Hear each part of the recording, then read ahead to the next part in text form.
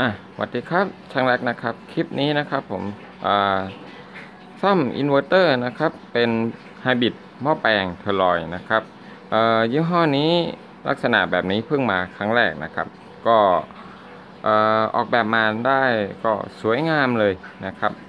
สีนี่จี๊ดมากนะครับ สวยงามมากนะครับ เครื่องนี้ยี่ห้อตัวนี้นะครับขอขออนุญาตเจ้าของแบรนด์นะครับ ผมรีวิวให้ดูกันนิดหน่อยนะครับ ตัวนี้ซ่อมเสร็จแล้วนะครับ อ่า มันไม่ได้เสียเพราะเครื่องมันเองนะ เสียเพราะการใช้งานนะครับ เครื่องนี้นะครับ ลูกค้าเจ้าของเครื่องนะครับ ใช้โหลดโหดมากกระจุยกระจายนะครับ ผมก็เอ่อไม่ได้แยกโหลดนะครับ มีอะไรก็ตะบี้ตะบันใช้ไปเลยนะครับ ทั้งปั๊มลมเอ่ยทั้งไดเป่าผมนะครับ สุดท้ายนะครับอินเวอร์เตอร์ไม่รอดนะครับ ก็ตอนนี้ซ่อมแก้ไขเสร็จเป็นที่เรียบร้อยแล้วนะครับ เดี๋ยวนะครับผมจะเปิดให้ดูภายในว่ามันมีอะไรแตกต่าง หรือว่าเหมือนไฮบริดหม้อแปลงตัวอื่นไหมนะครับ เบื้องต้นภายนอกก็ค่อนข้างที่จะอย่างที่บอกสวยงามมากนะครับ สีส้ม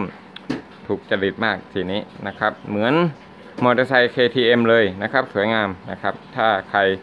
ออชอบมอเตอร์ไซค์จะรู้นะครับ K- KTM มันจะเป็นสีส้มนะโครงนะก็ภายนอกส่วนอื่นนอกจากสีแล้วนะครับ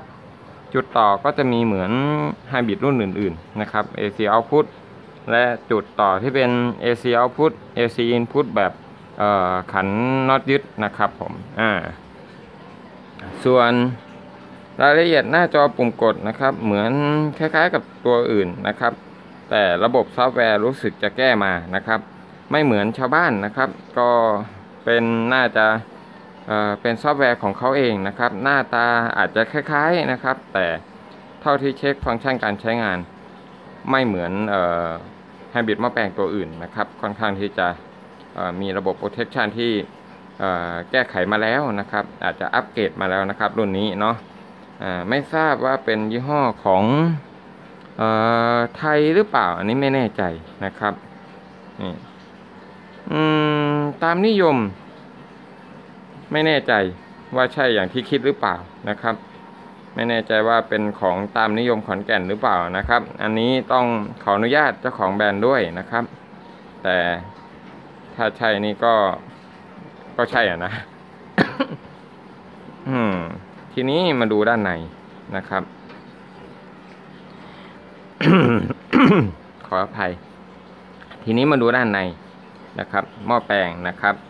ก็เป็นหม้อแปลง toroid ทั่วไปเหมือนรุ่นอื่นนะครับ เอาแกนฟิลเตอร์นะครับ low pass มาไว้ด้านบนนะครับ ยึดเข้าไปแบบนี้ก็ออกแบบมาได้ดีนะครับอ่าแล้วก็ชุดบอร์ดค่อนข้างที่จะสวยงามนะเรามาดูเอ่อที่ว่ามันไม่เหมือนชาวบ้านกันเดี๋ยวขออนุญาตถอดสายหน้าจอออกก่อนจึ๊บ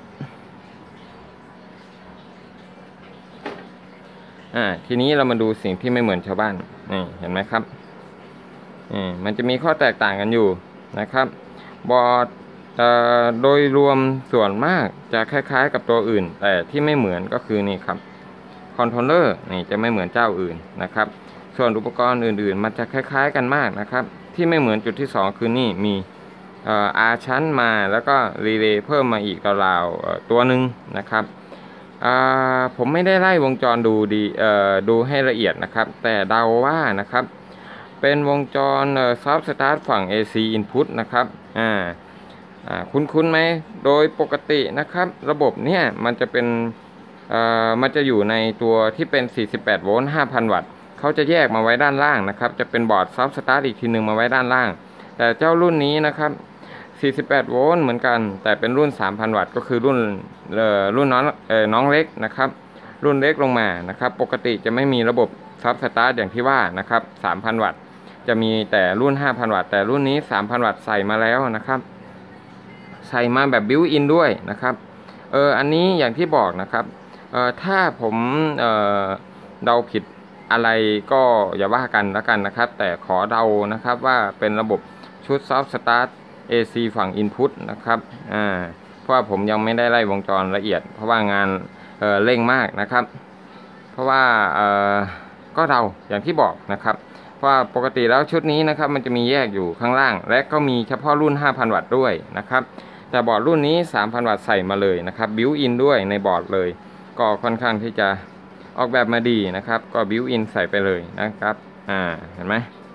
มี R shunt แล้วก็มีรีเลย์เพิ่มมาอีกตัวหนึ่งเป็น soft start เอาง่ายๆว่าถ้าเครื่องไม่ทำงาน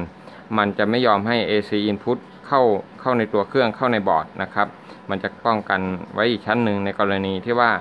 เวลาเครื่องช็อตเครื่องดับนะครับ ถ้าต่อ AC แค่ไว้มันจะไม่มีผลกับบอร์ด เพราะว่าเอ่อมันจะมีการตัดการทำงาน ตัด AC input นะครับอ่าออกแบบมา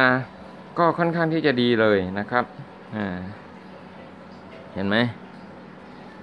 วงจรสวยงามนะครับ หม้อแปลงก็แน่นแน่นเลยนะครับ รุ่นนี้เออเป็นรุ่นที่ไม่มี MPPT charger ด้านใน ผมไม่รู้นะครับว่า ยี่ห้อนี้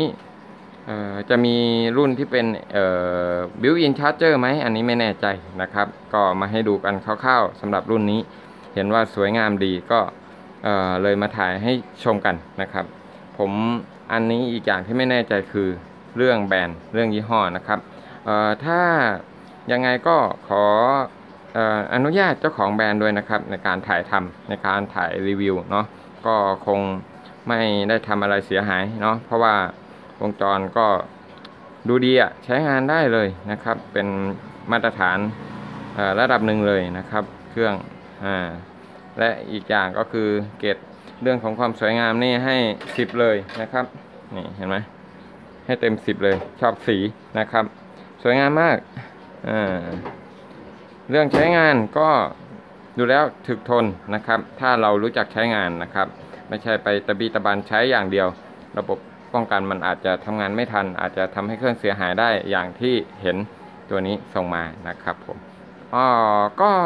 คงจะขอจบไว้เพียงเท่านี้นะครับสำหรับคลิปนี้ก็คงไม่มีอะไรมากแล้ว มารีวิวสั้นๆ ให้ดูกันนิดหน่อยนะครับสำหรับ